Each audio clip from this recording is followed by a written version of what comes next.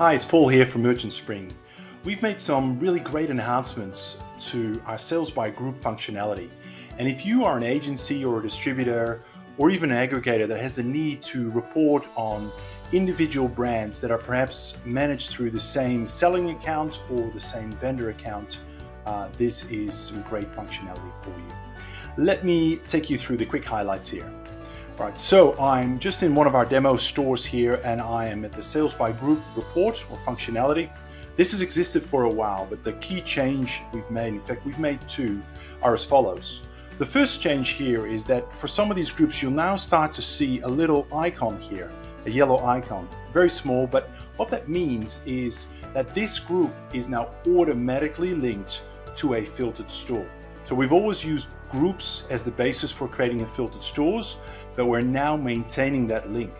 What that means is if you add an ASIN or a SKU to that custom group, that SKU is then automatically added to the filter channel as well. So no need to recreate that channel and do that again. The second item that we've added here is when you create a group, we've given you another option. We've always had the option of uh, selecting individual ASINs you can do this through manual input here, but you can also do that via the CSV upload. But there's a second option now, which is create a custom group based on brands.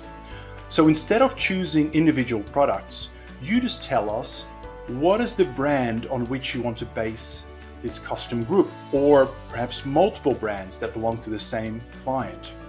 Um, you can simply select these, give the group a name and save it in the same way that you've created custom groups before. Uh, what's different though is that this list is not static. So what we do is every four hours, we check the Amazon or Walmart or other marketplace catalog to see if there are any new listings that have appeared that share those brand attributes. If there are, we will automatically include them in your custom group.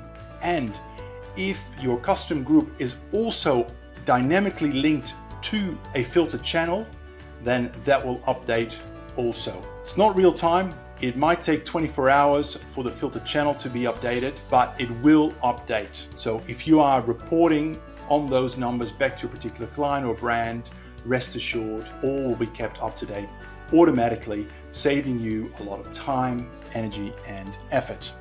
I hope that makes sense. Of course, if anything is unclear or you want to see a short demo, just get in touch with our client success managers and they'll be happy to walk you through it. All right.